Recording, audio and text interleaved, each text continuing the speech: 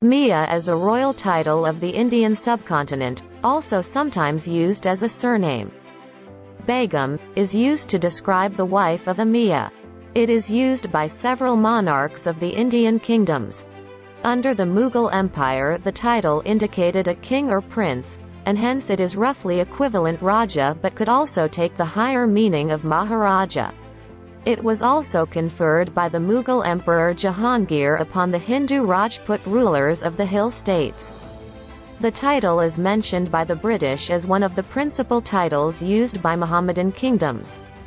Other Mohammedan titles sometimes equivalent in consideration to Nawab, but not always are Wali, Sultan, Amir, Mir, Mirza, Mia, Khan, Sardar and Dewan, which are common to Hindus and Muslims.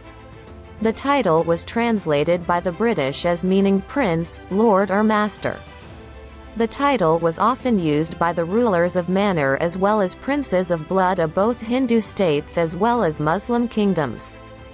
The title held pre-eminence in Sindh Pakistan where it was used by the dynasts of the former royal dynasties of Arab origin Kalhora dynasty and Sumro dynasty.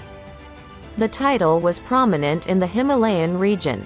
The British noted in the Gurdaspur Imperial Gazetteer that the title Mia held the highest rank above Malik or Chaudhry within Punjab. The title is used in varying capacity by members of princely states, sometimes used for princes and other times used by the monarch himself.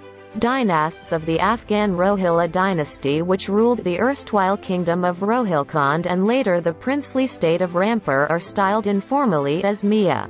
Similarly the Sheikh Arab Muslim rulers of Mubarakpur kingdom present in North India is also called Mia.